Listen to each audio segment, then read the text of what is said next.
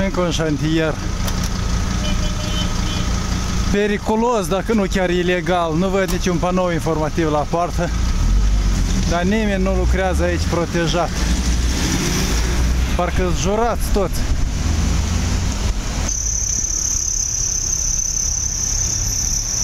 Și că își cer scuze pentru disconfort. Mai mare disconfort ar fi dacă ar cădea un muncitor de acolo și ar sparge capul cu o cărămidă. Și după aceea noi să-i plătim uh, neglijența. Iată cine e vinovat. Încă în mai anul ăsta șantierul trebuia să fie încheiat conform panoului.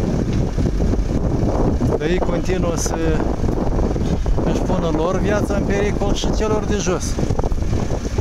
Nene celor dacă scapă ranga acum, ori distruge mașina de jos, ori omoară șoferul, vreun pasager.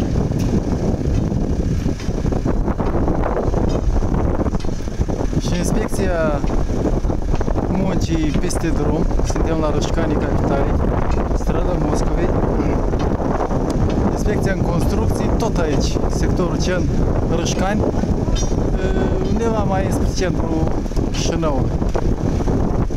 Dar e clar că la noi se face oricum. Pentru că vrea puțin cetățeni țin la respectarea legii și la respectarea drepturilor Și în condițiile astea nu vă mirați că trăim altfel decât în Europa. Cam ca în Uniunea Sovietică. Totul la nivel declarativ și prevederile legale și dispozițiile uh, partenerilor occidentali sau recomandările, ca să zic așa. Și iată, o să ajungem în felul ăsta Europa de urmă. Să ajungă mai degrabă Uniunea Sovietică din nou.